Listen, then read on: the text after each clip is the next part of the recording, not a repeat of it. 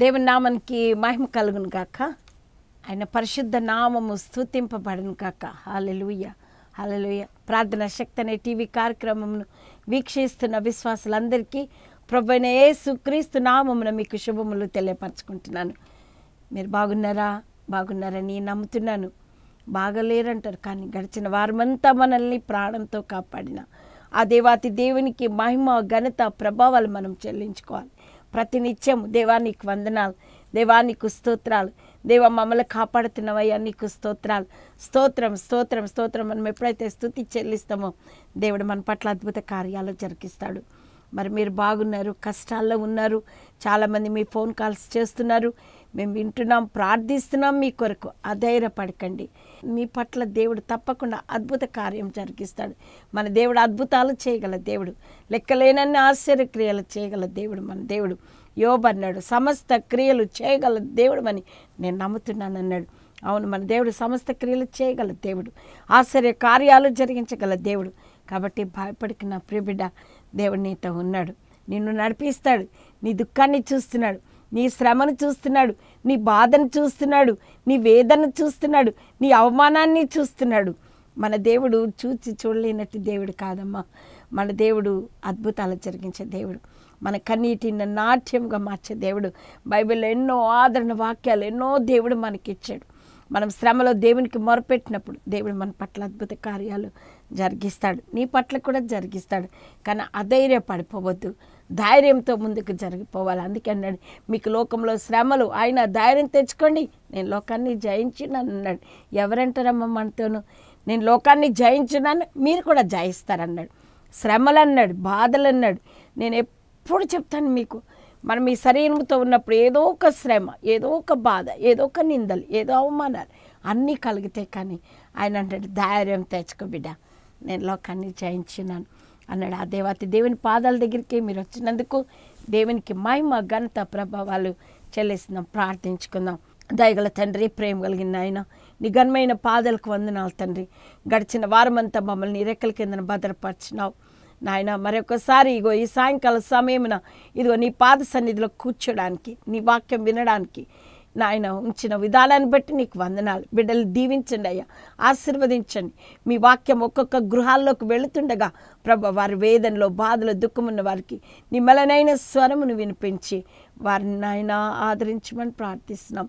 ఇక ప్రభా బలమైన సాక్షిగా ప్రభా నాయన వాడుకొనమని ప్రార్థిస్తున్నాం నాయన. శరీర బలహీనతలున్నప్పటికీ ఇదిగో నాయన బాహ్య పురుషుడు మమ్మల్ని బాధ పెడుతున్నప్పటికీ ఆంతర్య పురుషుడు మమ్మల్ని దినదినము బలపరుస్తున్నందుకు నీకు స్తోత్రాలయ్యా. నీకు వందనాలయ్యా వందనాలయ్యా. వందనాలు. ఈ వాక్యం వినడానికి కూర్చున్న ప్రతి బిడ్డను బలపరచండి. ఏ వేదనతో ఏ దుఃఖంతో ఏ సమస్యలతో నీ ముందట కూర్చున్నారు నాకు తెలియదయ్యా అయ్యా మీకు తెలుసయ్యా. ఇగో నాతో నాయన నీ సిలువ చాటుకు నన్ను మరుగుపరిచి. నాయన ఇక్కడున్న బిడ్డలందరితో మీరు మాట్లాడమని ఏ సతి పరిశుద్ధ నామమును బట్టి అడుగుచున్నాను తండ్రి. Amen amen. దేవుడు మిమ్మల్ని మీ కుటుంబాలు దీవించాలి అని రోజు ప్రార్థన చేస్తున్నాం. మీరు కూడా ప్రార్థిస్తున్నారు కదా. ఈ వాక్యాన్ని ఆత్మీయంగా బలపడుతున్నారని నేను నమ్ముతున్నాను. ఎందుకంటే అక్కడక్కడ కనపడినప్పుడు చాలామంది అమ్మ మీ వాక్యం తప్పకుండా మేము చూస్తున్నామన్నాను చూస్తున్నందుకు దేవునికి మహిమ.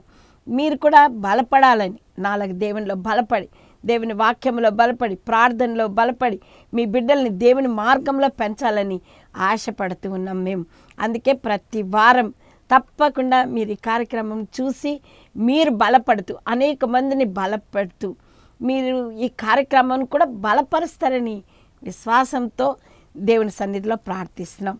దేవుడు దీవించి ఆశీర్వదించును కాక పోయిన వారం మనం ధ్యానం చేసుకున్నాం. దావీదు భక్తుడు. ఆయన అన్నాడు నా శ్రమలో నేను ఏ హోకు మొరపెడితేని ఆయన నా మొర ఆలకించాను. ఆయన ఆలయంలో నుండి నాకు ఉత్తరం ఇచ్చను అన్నాడు ఈ దినాన్ని కూడా ముప్పై నాలుగవ కీర్తన మూడవ వచనం. నాతో కూడి యహోవాన్ని గనపరచుడి మనం ఏకంగా కూడా ఆయన నామమును గొప్ప చేయదము మరి నాలుగవ వచనము మీ ముందట ఉంచాలని ఇష్టపడుతున్నాను. నేను యహోవా యొద్ద విచారణ చేయగా ఆయన నాకు ఉత్తరం ఇచ్చాను. నాకు కలిగిన భయములన్నిటిలో నుండి ఆయన నన్ను తప్పించను. వారు ఆయన తట్టు చూడగా వారికి వెలుగు కలిగను. వారి ముఖములెన్నడూ లజ్జింపకపోను ఈ దీనుడు మొరపెట్టగా ఏహో ఆలకించను. అతని శ్రమలన్నింటిలో నుండి అతన్ని రక్షించను. అలలుయ అలలుయ దావీదు భక్తుడు అంటున్నాడు మనుషుల వైపుకు చూస్తే నాకు వెలుగు కలగలేదు కానీ నీ వైపుకు చూస్తే నాకు కలిగిన భయములన్నిటిలో నుండి నన్ను విడిపించిన గొప్ప దేవుడు నాతో ఉన్నాడని భయపడలేదు. ఈ దీనుడు మొరపెట్టగా ఏహో ఆలకించను. అతని శ్రమలన్నింటిలో నుండి అతను రక్షించను అవును మనల్ని రక్షించే దేవుడు గొప్ప దేవుడమ్మా. మనం భయపడవలసిన పని లేదు. దేవుడు మనతో నడుస్తున్న దేవుడు. అందుకే దావిద భక్తి కీర్తనలన్నీ మనం చదువుకుంటుంటాం. మనం ఏ శ్రమలో ఉన్నప్పుడు వెంటనే బైబిల్ తెరవగానే దావిద కీర్తనలే చదువుతాం. సామెతలు అంత ఎక్కువ చదవం కానీ కీర్తనలు మన దాని దినము మనల్ని బలపరుస్తూ ఉంటుంది. ఎందుకంటే అందులో ఎన్నో మంచి మంచి నిజంగా ఆ కష్టానికి కరెక్ట్గా దేవుడు మనతో మాట్లాడుతున్నట్టు అనిపిస్తూ ఉంటుంది. నేను కూడా ఎన్నోసార్లు చదువుతూనే ఉంటాను చదువుతూనే ఉంటాను. ఎందుకంటే ఎంతో ధైర్యం ఇస్తుంది. నా శ్రమలో నా బాధల్లో నా అవమానంలో మా ఇబ్బందుల్లో మా కష్టాల్లో మా అనారోగ్య పరిస్థితుల్లో దేవుడి ఈ వాక్యాన్ని బట్టి మమ్మల్ని బలపరుస్తున్నాడు. అందుకే దేవునికి వందనాలు స్తోత్రాలు చెల్లించుకుంటున్నాం. ఆయన అంటున్నాడు ఈ దీనుడు మొరపెట్టగా ఎహోవా ఆలకించాను. నువ్వు మొరపెడితే దేవుడు వింటాడు. నీవు ఆలకిస్తాడు దేవుడు. నేను మొరపెట్టినప్పుడు నాకు విన్న దేవుడు నీకు వినడా నీకు కూడా వింటాడు. నీ కష్టాలు కూడా తీరుస్తాడు. అందుకే దీనుడు మొరపెట్టుగా యెహోవా ఆలకించను. అతని శ్రమలన్నిటిలో నుండి అతన్ని రక్షించినను. నేను రక్షిస్తాడు నీ శ్రమలు దావీదికి పోయిన వారం మనం చదువుకున్నాం. దావీది మొత్తం అంతా దాని కుటుంబాన్ని అంతటిని వాళ్ళు తీసుకొని చెర్లకు తీసుకుపోయినప్పుడు మరి పిలిస్తీలు తీసుకుపోయినప్పుడు దేవుని యొద్ద విచారణ చేశాడు. దేవుని పైన బాధారపడ్డాడు ఆధారపడి దేవుని దగ్గర సన్నిధిలో ఉండి ప్రార్థించినప్పుడు మళ్ళా తిరిగి ఆయన యుద్ధ విచారణ చేయగా ఎల్లు అని దేవుని వాక్యం చెప్పగానే దేవుడు మాట్లాడగానే వెళ్ళి మళ్ళీ తన స్వజనులందరినీ తన భార్యని పిల్లల్ని కుటుంబాలు అన్నీ అక్కడ ఉన్న వాళ్ళంతా రాళ్ళు తీసుకుని కొట్టి చంపేయాలనుకున్నారు. కానీ దేవుడు తోడుగా లేడా? ఆధారపడాలి. మనం దేవుని పైన ఆధారపడాలి. ఈ లోక మనుషులు అంతేనండి. రాళ్ళు తీసుకుని కొడతారు మాటలు అంటారు సూటిపోటి మాటలతో పొడుస్తూ ఉంటారు. కానీ దేవుడు మనతో ఉన్నాడు. దేవుడు మనల్ని నడిపిస్తాడు. నువ్వు వేదనతో ఉండి దుఃఖంతో ఉన్నవేమో ప్రభు ఈ దినాన్ని అంటాడు. ఈ దీనుడు మొరపెట్టగా ఏహో ఆలకించను దేవుడు ఆలకిస్తాడు. నువ్వు దీనత్వం కలి ఎవడు దీనుడై నలిగిన హృదయం కలవాడై నా మాట విని వణుకుచుండునో వాడిని నేను దృష్టిస్తున్నాను అన్నాడు. కాబట్టి నిన్ను దృష్టించే దేవుడు నీతో ఉన్నాడమ్మా. భయపడకు. కుమిలిపోకు వేదన పడకు. దేవుడు నిన్ను నడిపిస్తాడు. గొప్ప దేవుడమ్మా. ఆయన యుద్ధ విచారణ చేయగన్నాడు. మనుషుల యుద్ధ కాదు. ఆయన యుద్ధం మనం విచారణ చేయాలి. ఆయన సన్నిధిలో మనం ప్రార్థించాలి. ఆయన సన్నిధిలో మనం మోకరించి దేవా నువ్వు నాకు సహాయం చేయి ప్రభా. దావిదికి ఎన్ని శ్రమలు? బయట వాళ్ళతో శ్రమలు ఇంటి వాళ్ళతో శ్రమలు అన్ని శ్రమలు కలిగిన ఆయన ధైర్యం తెచ్చుకున్నాడు. అందుకే అంటున్నాడు ధైర్యం తెచ్చుకొని ముందుకు సాగిపోమంటున్నాడు. మనము రెండవ సమయాలు గ్రంథం పదహారవ అధ్యాయం ఐదు నుంచి పదమూడు వరకు మనం చూస్తే అక్కడ తన సొంత కొడుకే తనకు పుట్టిన అభిషలం కొడుకే మరి అక్కడ అహితోపేలు కూడా దావీతో ఉన్నవాడు కొడుకుతో ఏకమయ్యి ఆయన రాజ్యాన్ని తండ్రి రాజ్యాన్ని తీసేసుకోవాలని మరి అబ్షలోము ప్రయత్నం చేసినప్పుడు అక్కడ ఉన్న దావీదు మరి అడవిలోకి వెళ్ళిపోతున్నట్లు మనం చూస్తాం. మీరు చదవండి తప్పకుండా. రెండవ సమయాలు గ్రంథం పదహారవ అధ్యాయం ఐదు నుంచి పదమూడు వచనాల వరకు మీరు చదివితే దావీదు ఎంత వేదనతో బాధపడుతున్నాడు. అక్కడ ఉన్న వాళ్ళు ఎలాగున్నారో మనకు తెలుసు. కొన్ని వచనాలు మీ ముందట ఉంచుతాను. దావీదును సౌలరాజు కుటుంబీకుడు ఒకడు శపిస్తూ షిమ్మి శపిస్తూ రాళ్ళు రువ్వుతున్నాడట మట్టంతా మీద వేస్తున్నాడట దావీది మీద. కానీ దావీది ఏమంటున్నాడు తెలుసా? అక్కడ చదువుతున్నాం.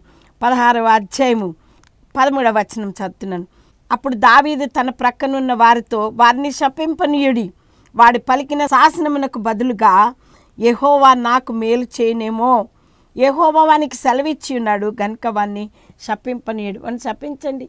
దేవుడు మరి నాకు ఆ పని చేశాడు ఏం చేస్తాం మరి? వాడు శపించేటట్లు చేస్తున్నాడేమో దేవుడు. అవి నాకు మేలుగా మారుతుందేమో. శపించనియండి. ఎందుకంటే రాళ్ళు రువ్వుకుంటా మరి చేస్తున్నట్లు మనం చూస్తున్నాం. తర్వాత ఏమంటున్నాడంటే యెహోవానికి సెలవిచ్చి ఉన్నాడు కనుక వాడిని శపింపనీడి వాని జోలు పోకుడు అన్నాడు. సొంత కొడుకే పదకొండవ వచనంలో మనం చూసి నా కడుపున పుట్టిన నా కుమారుడే నా ప్రాణము తీర్చుండగా ఈ బెన్యామీనుడు ఈ ప్రకారం చేయుట ఏం ఆశ్చర్యము? వాని జోలు బానుడి అంటున్నాడు. చూసారా? నా కన్న కొడుకే మన ఇంట్లో ఉన్న కొడుకులే మన ఇంట్లో ఉన్న కుటుంబీకులే మనల్ని శపిస్తూ ఉంటారు. మనల్ని బాధ పెడుతుంటారు మనల్ని అవమానపరుస్తూ ఉంటారు ఆ పెద్ద చేసావులే ఆ పెద్ద చెప్పావులే ఆ నువ్వు కన్నావులే ఎన్నెన్నో మాటలు అంటూ ఉంటారు. దావిది భక్తులు నా కడుపున పుట్టిన కుమారుడే నన్ను తరుముతుంటే వాడెవరో బయట వాళ్ళు అంటుంటే నాకేమవుతుంది ఒకవేళ దేవుడు అలా చెప్పాడేమో మనతో చేయనీయమని చెప్పాడేమో అది అట్లా జరుగుతున్నదని అంటున్నాడు. కాబట్టి పన్నెండవ వచనములు అంటున్నాడు యహోవా నా శ్రమను లక్ష్యపెట్టునేమో వాడు పలికిన శాసనమునకు బదులుగా యహోవా నాకు మేలు చేయనేమో అన్నాడు తావేది భక్తుడు. ఆడ అరుస్తున్నాడేమో అరవనీయండి? కానీ దేవుడు తప్పకుండా ఆయన ఏమన్నాడంటే యహోవా నా శ్రమను లక్ష్యపెట్టునేమో యహోవా నాకు మేలు చేయనేమో అన్నాడు. ఐతపేలు కూడా కుట్ర చేసినట్లు మనకు తెలుసు. తండ్రి మీదకి తయారు చేసిన తర్వాత ఐతపేలు చేస్తున్న ఆ వాడిని చెడగొట్టమని దేవుడి దగ్గర ప్రార్థించాడు దావీదు. కాబట్టి ఐతపేలు ఏం చేశాడు? మనకు తెలుసు అభిషలం ఏమైండు పైన వెళ్తున్నప్పుడు మనకు తెలుసు గాడిద మీద వెళ్తున్నప్పుడు ఆ అది చెట్టుకి పైన వేలాడ తీపట్టాడు కుమారుడు అబ్షలం కుమారుడు. ఐతపేలు చెడగొట్టాలనుకున్నప్పుడు ఆయన జోలికి పోలేడు. కానీ దేవుడే చేశాడు. చూసారా? మనం భయపడకూడదు. దేవుని వైపుకు మనం చూ అందుకే అన్నాడు నేను యహోవాకు మొరపెడతాను. ఆయన శ్రమలన్నిటిలో నుండి నన్ను రక్షిస్తాడు. నువ్వు అలాగున్నవేమో నీ బిడ్డలు నిన్ను బాధ పెడుతున్నారేమో నీ కొడుకులు నిన్ను శ్రమ పెడుతున్నారేమో నీకు ఈ లోకం నిన్ను బాధ పెడుతుందేమో నీకు బిడ్డలు ప్రయోజకులు కాటలేరేమో నీ భర్త నిన్ను బాధ పెడుతున్నాడేమో. భయపడిక బిడ్డ. దేవుడు తప్పకుండా నీకు మేలు చేస్తాడు. అద్భుతం జరిగిస్తాడు ఆశ్చర్య కార్యాలు జరిగిస్తాడు. అందుకే అంటున్నాడు మరి దావీదికి సొంతం చేసుకోవడానికి రాజ్యాన్ని మళ్ళా రాజు కావడానికి ఇరవై ఐదు సంవత్సరాలు పట్టింది. మళ్ళీ తిరుగులేని రాజుగా నలభై సంవత్సరాలు వెళ్ళినట్టు మనం చూస్తున్నాం. కాబట్టి భయపడకూడదు. మరి అందుకని కీర్తనల గ్రంథం తొంభై ఒకటో అధ్యాయం పదిహేను వచ్చిన అతడు నాకు మొరపెట్టగా నేను అతనికి ఉత్తరం ఇచ్చేదను. శ్రమలో నేను అతనికి తోడేండేదను అతన్ని విడిపించి అతను గొప్ప చేశాడు. హాలలుయ. నలభై సంవత్సరాలు రాజ్యాన్ని వెళ్ళినట్లు మనం చూస్తున్నాం. కష్టాలు పడలేదా? శ్రమలు పడలేదా? అందుకే దావీది భక్తుడు ఎన్నెన్నో రాసుకున్నాడు బైబిల్లో. అవన్నీ మనకి కూడా ఎంతో ఆదరణ కదా నేను ఎలుగెత్తి మొదలెడుతున్నాను ఎగోవాను బతిమలాడుకొంచున్నాను. నా ప్రార్థన ఆయన సన్నిధిలో నా కుమ్మరించుకుంటున్నాను అంటున్నాడు దావీది భక్తుడు అంటున్నాడు. అలాంటి ప్రార్థన మనం చేయాలి. అందుకే దేవుడు అందుకే అంకమంటున్నాడు నూట పంతొమ్మిదవ కీర్తన డెబ్బై ఒకటో వచనములు అంటున్నాడు. నేను నీ కట్టడలు నేర్చుకున్నట్లు శ్రమ ఇందుట నాకు మేలైనది అన్నాడు. అంటే కట్టలు నేర్చుకుని ఆయన శాసనాలు నేర్చుకోవాలంటే శ్రమనొందుంట మేలైంది అంటున్నాడు దావీది భక్తుడు అంటున్నాడు ఈరోజు నువ్వు కూడా దేవుడు శ్రమనొందుతున్నావేమో బాధ నొందుతున్నామో అది నీకు దేవుడు మేలుగా మారుస్తాడు కీడుగా మార్చాడు. ఏసేపు కీడుగా మార్చాడా? కాదే. ఐగుప్తి చెరలో ఉన్న వాళ్ళని విడిపించడానికి కూడా వారు కీడు అనుభవించిన ఏండ్ల కొలది దేవుడు వారికి విడుదల కలెక్ట్ చేశాడు ఎంత గొప్ప తెలుసా? నా ప్రిబిడి వాక్యం వింటున్నా నా ప్రిబిడ్డ నువ్వు శ్రమలు కలుగుతున్నాయి బాధలు కలుగుతున్నాయి ఇబ్బందులు కలుగుతున్నాయి నా ఇరుగు పొరుగు వారి వల్ల నా కుటుంబం నా బిడ్డలే నన్ను అవమానపరుస్తున్నారని దుఃఖపడుతున్నావా? ఏం భయపడుకు నేను విడిపించే దేవుడు గొప్పవాడు. నిన్ను విడిపించి గొప్ప చేసే దేవుడు నీతో ఉన్నాడన్న సంగతి మర్చిపోకు నా ప్రిబిడ్డ మనం చూస్తున్నాం స్టెఫెన్ కూడా అంతే. స్టెఫెన్ ప్రభు కొరకు ఎంతో జీవించడం మనకు తెలుసు. మరి స్టెఫెన్ అపోస్తుల కార్యములు ఆరు అధ్యాయం ఎనిమిదవ వచనం. స్టెఫెన్ కృపతోను బలముతోను నిండిన వాడి ప్రజల మధ్య మహత్కార్యములను గొప్ప సూచక్రియలను చేయుచున్నాడు. అలాంటి వ్యక్తిని దేవుని గురించి చెప్తున్నప్పుడు వాళ్ళు ఏం చేశారు మనకు తెలుసు కదా? రాళ్ళతో కొట్టి ఆయనను చంపేశారు స్టెఫన్ని. మరి పదవ వచనంలో మాటలాడుటేందును అతడు అగుపరిచిన జ్ఞానమును అతని ప్రేరేపించిన ఆత్మను వారు ఎదిరింపలేకపోయారు. అప్పుడు వారు వీడి మోసే మీదను దేవుని మీదను దూషణ వాక్యములు పలకగా మేము వింటుమని చెప్పుటకు మనుషులను కుదుర్చుకొని ప్రజలను పెద్దలను శాస్త్రాలను రేపి అతని మీదకి వచ్చి అతన్ని పట్టుకొని మహాసభ ఎద్దకు తీసుకుని పోయి అబద్ధ సాక్ష్యములకు నిలబెట్టారు. ఇద్దరు సాక్షులు పెట్టారు. మన విషయంలో కూడా అంతే. చెప్పమంటే అబద్ధాలు చెప్పేటోళ్ళు చాలామంది ఎక్కువైపోయారు. సాక్ష్యాలు చెప్పటం ఎక్కువైపోయారు. నిజమున్నది చెప్తలేరు మనుషులందరూ. అబద్ధాలకు ఎగబడ్డారు. మోసానికి ఎగబడ్డారు. వ్యభిచారానికి ఎగబడ్డారు. దొంగతనాలకు ఎగబడ్డారు. కానీ దేవుడు అంటున్నాడు అబద్ధ సాక్ష్యాలు పెట్టి మరి ఆయనను కొట్టి రాళ్ళతో కొట్టి చంపేసినట్లు మనం చూస్తున్నాం. కానీ ఆయన చూడండి ఎంతగానో స్టెఫన్ రాళ్ళతో కొట్టబడి శ్రమ పడుతుండగా పారలోక దర్శనాన్ని చూస్తున్నాడు. Hallelujah hallelujah hallelujah. యాభై ఐదవ వచనంలో అయితే అతడు పరిశుద్ధాత్మతో నిండుకొనుడు వాడై ఆకాశం వైపు తేరి చూచి దేవుని మహిమను యేసు దేవుని కుడి పార్శ్వమందు నిలుచుండుటను చూచి ఆకాశం తెరవబడుటయు మనుష్య కుమారుడు దేవుని కుడి పార్శ్వమందు నిలుచుండుటయు చూచున్నానని చెప్పాను. హాలలుయ రాళ్ళతో కొట్టేస్తున్నాడు శ్రమ పడుతున్నాడు బాధ పెడుతున్నారు చంపేస్తున్నారు కానీ ఆయన అంటున్నాడు దేవుని చూస్తున్నాడు. హాలలుయ పరిశుద్ధాత్మ దేవుని మహిమ యేసు దేవుని కుడిపార్శ్వ మీద నిలిచిండట చూచి ఆకాశం తెరబడిన హాలలుయ. నీకు శ్రమలు ఇవన్నీ తగినవి కావు. తప్పకుండా దేవుడు మనం మా మహిమ రాజ్యానికి ప్రవేశించాలి. ఈ లోక శ్రమలు ఎన్న తగినవి కావు. కానీ పరలోకంలో ఆయన మహిమలో ఆయన నిత్యత్వంలో మనం ఉండడానికి ఆయన ఇష్టపడుతున్నాడు. కాబట్టి మనం ఏ రీతిగా ఉన్నాం? ప్రభు కొరకు శ్రమలు కలిగిన బాధలు కలిగిన అందుకే అంటున్నాడు. దావీది భక్తులు నూట పంతొమ్మిదో కీర్తన మనం ఇందాక చదువుకున్నాం. డెబ్బై ఒకటి వచ్చిన నేను నీ కట్టలు నేర్చుకున్నట్లు శ్రమ నొంది ఉండుట నాకు మేలైన ఈ లోకం శ్రమలండి కష్టాలండి బాధలండి రోగాలండి అపనిందలండి అవమానాలండి. కానీ వాటిల్లో నుండి దేవుడు విడిపిస్తాడు. ఎందుకంటే అది మన మేలు కొరకే జరుగుతున్నాయి అంటున్నాడు. అందుకే రోమిలకు రాసిన పత్రిక ఎనిమిదవ అధ్యాయం పదిహేడవ వచనములు అంటున్నాడు. మనం పిల్లలమైతే వారసులం అనగా దేవుని వారసులం. క్రీస్తు కూడా మహిమ పొందుటకు ఆయనతో శ్రమ పడినేలా క్రీస్తుతోడి వారసులం. అవును మహిమ ఆయన స్టెఫెన్ రాళ్ళతో కొట్టబడ్డాడు ఈ లోకం పడ్డాడు కానీ పరలోకాన్ని చూస్తున్నాడు. హాలెలియ పరలోకానికి నువ్వు చూడాలని ఆ మహిమ కిరీటం మనం పొందుకోవాలని ఆ మహిమ రాజ్యంలో మనం ప్రవేశించాలని ఆయన ఇష్టపడుతున్నాడు. అందుకే అన్నాడు యోబు గ్రంథం ముప్పై ఆరవ అధ్యాయం పదిహేను పదహారు వచనాలు మనం చూస్తే శ్రమపడి వారిని వారికి కలిగిన శ్రమల వలన ఆయన విడిపించను. బాధల వలన వారికి విధేయులుగా చేయను. అంతేకాక బాధలో నుండి ఆయన నిన్ను తప్పించును. ఇరుకులేని విశాల స్థలములకు నిన్ను తోడుకొని పోవును. Hallelujah hallelujah hallelujah. శ్రమపడి వారిని వారికి కలిగిన శ్రమల వలన ఆయన విడిపిస్తాడు బిడ్డ. నీకు కలిగిన శ్రమలు ఆయన విడిపిస్తాడు. ఆయన విడిపించడానికే సిద్ధంగా ఉన్నాడు. కానీ నువ్వు ఆయనను అడగాలి. అయ్యా నాకు ఈ శ్రమ కలిగిందయ్యా. నాకు ఈ బాధ కలిగిందయ్యా నాకు ఈ రోగం కలిగిందయ్యా. అయ్యా నువ్వు తప్ప నన్ను ఎవరు విడిపిస్తారయ్యా? నువ్వు తప్ప నాకు ఆశ్రయం ఏదయ్యా? నువ్వు తప్ప నాకు ఎవరున్నారయ్యా ఈ లోకంలో నువ్వు ఉండగా నాకేది అక్కర్లేదు అన్నాడు దావిది భక్తుడు. ఆయన అంటాడు యో భక్తుడు అంటున్నాడు శ్రమపడి వారిని వారికి కలిగిన శ్రమల వల్ల ఆయన విడిపించను. బాధల వల్ల వారికి విధేయులుగా చేయను అంటున్నాడు. బాధలు కలిగినప్పుడు అందుకే అన్నాడు హెబ్రిలకు రాసిన పత్రిక ఐదవ అధ్యాయం ఎనిమిదవ వచనంలో కూడా ఏసై గురించి చెప్తుంది. ఆయన కుమారుడైండి తాను పొందిన శ్రమల చేత విధేయత నేర్చుకున్నాడు. మనం విధేయత నేర్చుకోవాలి. శ్రమలు ఉన్నప్పుడు దేవుని తిట్టడం దూషించడం అవి కాకుండా అయ్యా ఈ శ్రమ నుండి తొలగించాయా ఈ బాధల నుంచి తొలగించయ్యా. ఈ బాధల నుంచి విడిపించయ్యా. ఆయన చూస్తున్నావు కదా అని. మనం మొరపెట్టినప్పుడు దేవుడు తప్పకుండా మన పట్ల అద్భుత కార్యాలు జరిగిస్తాడు. అందుకే సామెతల గ్రంథం ఇరవై నాలుగవ అధ్యాయం పదవ వచనంలో శ్రమ దినము నువ్వు కృంగిని ఎడల నువ్వు చేత కాని వాడవగదువాను శ్రమలో కృంగిపోతున్నావేమో బిడ్డ వేదన పడిపోతున్నావేమో నువ్వు దుఃఖపడిపోతున్నావేమో తప్పకుండా విడిపించగల గొప్ప దేవుడు మనతో ఉన్నాడు. ధైర్యం తెచ్చుకోవాలి. మనం ధైర్యం తెచ్చుకోవాలి. మొదటి పేరు రాసిన పత్రిక మూడవ అధ్యాయం పద్నాలుగు వచనంలో మీరు ఒకవేళ నీతి నిమిత్తం శ్రమ పడినను మీరు ధన్యులు. నీతి నిమిత్తం శ్రమ పడ్డాడు స్టఫన్. కానీ పర్లోక రాజ్యానికి పరలోకాన్ని చూశాడు. ఎంత గొప్ప భాగ్యము. అందుకని పద్దెనిమిదవ వచనంలో కీడు చేసి శ్రమపడుట కంటే మేలు చేసి శ్రమపడుట బహు మంచిది. అవును. కీడు చేసినప్పుడు మనం చేస్తే అది దానికి సేమ్ ఉంటుంది కానీ మేలు చేసి శ్రమ పడతాం అది మంచిది అంటున్నాడు.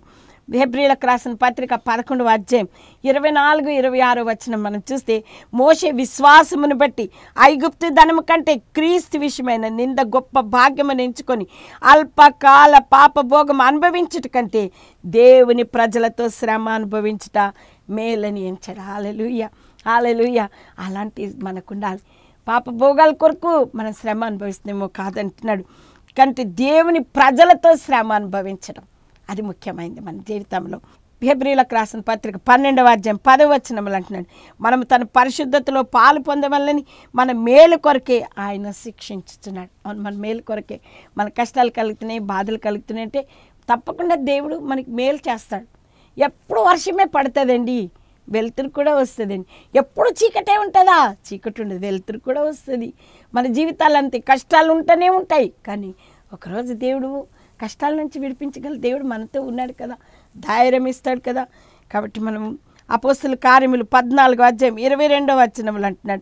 మనం అనేక శ్రమలు అనుభవించి దేవుని రాజ్యంలో ప్రవేశింపవలనని వారిని హెచ్చరించాడు పౌలు భక్తుడు. అవును మనం అనేక శ్రమలు అనుభవించాలి. క్రైస్తవులుగా పిలువబడుతున్న మనం అనేక శ్రమలు అనుభవించాలి. అనుభవిస్తేనే మహిమ దొరుకుతుందండి.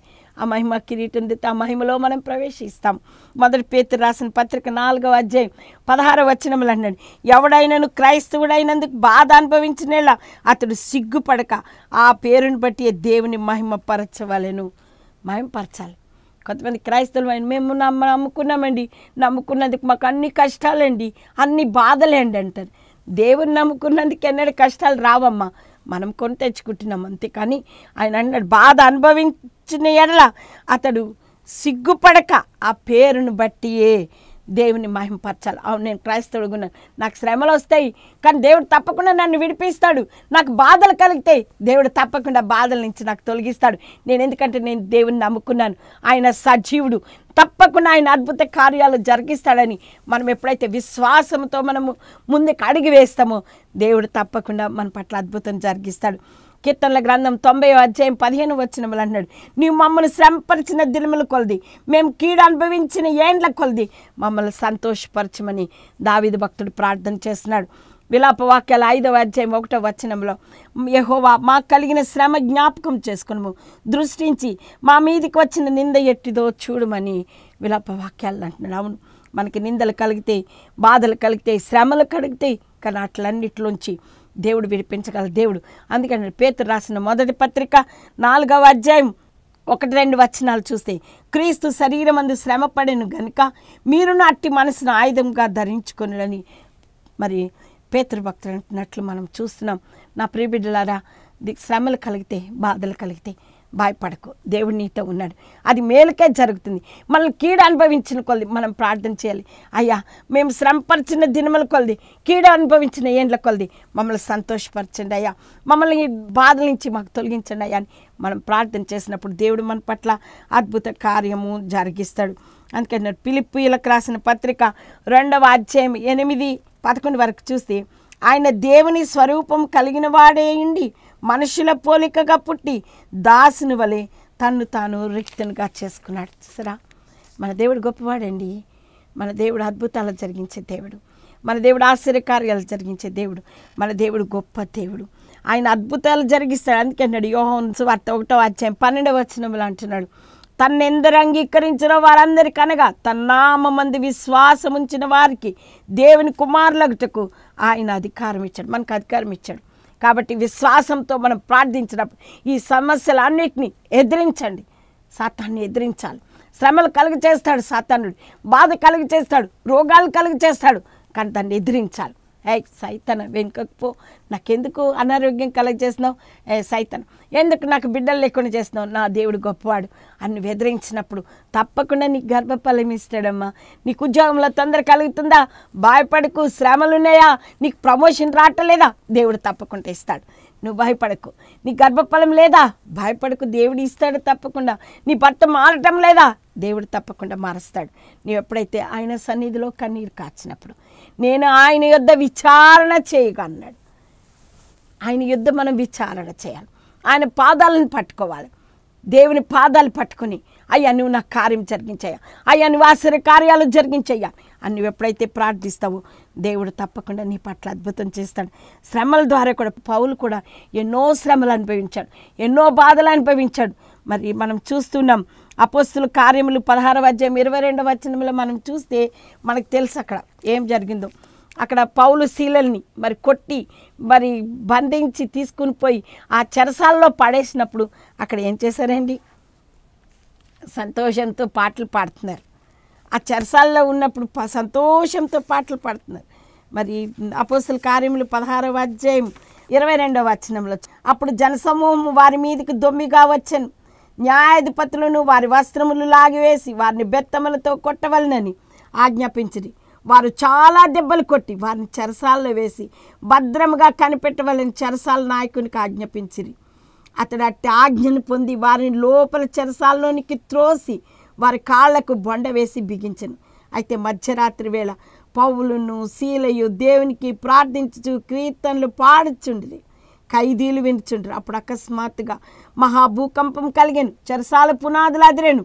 వెంటనే తలుపులన్నీ తెరుచుకున్నాను అందరి బంధకములు ఊడిన. అంతలో చెరసాల నాయకుడు మేల్కొని చెరసాల తలుపులన్నీ తెరిచిండుట చూచి ఖైదీలు పారిపోయారు అనుకుని కత్తి దూసి తను తాను చంపుకొని పోయిన. అప్పుడు పౌలు నీవు ఏ హాని చేసుకునవద్దు.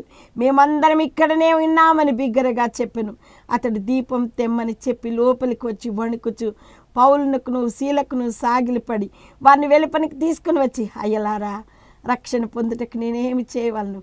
అందుకు వారు ప్రభుని వేసినందు విశ్వాసం ఉంచుము. అప్పుడు నువ్వు నీవును నీ ఇంటి వారును రక్షణ పొందుదురని చెప్పాడు. హాలెలుయ్య హాలెలుయ్య ఎంత గొప్ప దేవుడో తెలుసా? పౌల్ని బాధ పెట్టాడు. మనకు తెలుసు అక్కడ పుతోని దెయ్యాన్ని వెళ్ళగొట్టినందుకే అక్కడ అంత భయంకరంగా కొట్టి చేసే శ్రమలు కలగలేదా? అప్పుడు మనమైతే ఎన్నో తిడతాం కానీ వాళ్ళు దేవుని స్థుతించారు. ఎంత అద్భుత కార్యం జరిగించాడో మనం చూస్తూ ఉన్నాం. నీ పట్ల అలాగ అద్భుతం కార్యాలు జరిగించాలని ఆయన ఇష్టపడుతున్నాడు. అందుకే అన్నాడు పిలిపిలకు రాసిన పత్రిక మూడవ అధ్యాయం పది నుంచి పదకొండు చే చదువుతుంటే ఏ విధము చేతనైనా మృతుల్లో నుండి నాకు పునరుత్నం కలగవలనని ఆయన మరణ విషయంలో సమాన భావం కలవన్నాయి నన్ను ఆయనను ఆయన పునరుత్న బలమును ఎరుగు నిమిత్తమును. ఆయన శ్రమలలో పాలివాడినఒకటి ఎట్టిదో ఎరుగు నిమిత్తమును. సమస్తము నష్టపరుచుకొని వాటిని పెంటతో సమానముగా ఎంచుకొంచున్నాను అన్నాడు. పిలిపిలకు రాసిన పత్రిక మూడో అధ్యాయం ఏడు పదకొండు. క్రీస్తును సంపాదించుకొంటకు సమస్తమును నష్టపరుచుకొని వాటిని పెంటతో సమానముగాను నాకు ఏవేవి లాభకరములై ఉండునో వాటిని క్రీస్తు నిమిత్తము నష్టముగా ఎంచుకొనుచున్నాను. హాలెలూయ. హాలలుయ హాలెలూయ చూసరా. నాకేవేవి లాభకరము ఆయన శ్రమలో పాలువాడినట్టు ఎట్టిదో అంటున్నాడు. నువ్వు అలాగున్నావా? శ్రమలు కలిగితే బిడ్డ భయపడకు. వేదనలు కలిగితే భయపడకు. నీతో దేవుడు ఉన్నాడమ్మా నీతో దేవుడు ఉన్నాడయ్యా నీ బిడ్డలు చూడకున్నా నీ బాధలు కలిగిన దేవుడు నిన్ను ఆదరించే దేవుడు నీతో ఉన్నాడు. భయపడకు. దేవుని వైపుకు చూడు. ఆయన యుద్ధ విచారణ చేయి. నీకు కలిగిన భయం అంతా ఆయన ముందడి కుమ్మరించుకో. ఈ దీనుడు మొరపెట్టగా ఏహో ఆలకించాను. అతని శ్రమలన్నిటిలో నుండి అతన్ని రక్షించ నిన్ను రక్షించడానికి ఆయన సిద్ధంగా ఉన్నాడు. ఆయన యుద్ధ విచారణ చేయి. ఆయన సన్నిధిలో ప్రార్థించు. దేవుడు నీ పట్ల అద్భుతం జరిగిస్తాడు. ప్రార్థించుకుందామా? దయగల తండ్రి గొప్ప దేవుడవయ్యా ఈ వాక్యం విన్న బిడ్డలందరినీ బలపరచండి. దావీది భక్తుడు ప్రభా ఎంతగానో నీ ఎందు విశ్వాసం ఉంచాడు. యహోవా నా కాపరి నాకు ఏం కలుగుదన్నాడు. నిన్ను నమ్ముకున్నాడు ప్రభా నువ్వు తిరుగులేని రాజ్యాన్ని నలభై సంవత్సరాలు ఏలేవాడుగా చేసావు శ్రమలున్నాయి అన్నాడు శ్రమ నుండి ఇండుటకు నాయన నీ కట్టలను అనుసరించటకు నాకు మేలాయన అన్నాడు అవును మాకు శ్రమ కలిగినప్పుడు మేము భయపడిపోతున్నామయ్యా. మాకు వేదన కలిగినప్పుడు మేము భయపడిపోతున్నామయ్యా. మాకెవరు ఆదరించేవారు లేరని భయపడిపోతున్నామయ్యా. కానీ దేవా నువ్వు గొప్ప దేవుడు అయ్యా ఆదరించే దేవుడు నడిపించే దేవుడు కష్టాల నుంచి విడిపించే దేవుడు గొప్ప దేవుడు మాకున్నావయ్యా. మేము అధైర్యపడక ప్రభు మేము ధైర్యంతో ముందుకు సాగిపోవడానికి మాకు సహాయం చేయండి. ఎందుకంటే మేము పొందబోవో ఆ మహిమ కిరీటంలో ఆ మహిమలో మేము ప్రవేశించాలంటే ఈ లోకంలో శ్రమలు అనుభవించండి అయ్యా అనేక మంది శ్రమలు అనుభవిస్తున్నారు. శ్రమలు అనుభవించే కొలది కీడు అనుభవించిన కొలది మమ్మల్ని సంతోషపరచండి అయ్యా. ఈ టీవీ దగ్గర కూర్చున్న బిడ్డలందరినీ సంతోషపరచండి. వేదన్ని తొలగించండి కష్టాల నుంచి తొలగించు. ఆపదల్లో నుంచి విడిపించు నాయన. గొప్ప దేవుడు అయ్యా అందుని బట్టి నీకు స్తోత్రాలయ్యా. దీవించండి ఆశీర్వదించండి. నాయన మీ వద్ద మేము విచారణ చేస్తున్నామయ్యా. మాకు కలిగిన భయములన్నిటిలోంచి మమ్మల్ని విడిపించి ప్రభా నీ రక్తంతో మమ్మల్ని కడిగి పవిత్రపరిచి శుద్ధీకరించి నాయన నీ బిడ్డలుగా మమ్మల్ని చేసుకున్నామని ఏ సతి పరిశుద్ధ నామమును బట్టి అడుగుచున్నాను తండ్రి. ఆమె దేవుడు మిమ్మల్ని మీ కుటుంబాలను దీవించి ఆశీర్వదించును కాక మీ ప్రార్థన వసతి కోరిన ఈ స్క్రీన్ పై కనపడుతున్న ఫోన్ నెంబర్కి మీరు ఫోన్ చేయండి. తప్పకుండా మీ కొరకు మేము ప్రార్థిస్తాం. దేవుడు మిమ్మల్ని దీవించి ఆశీర్వదించును కాక. ఆమె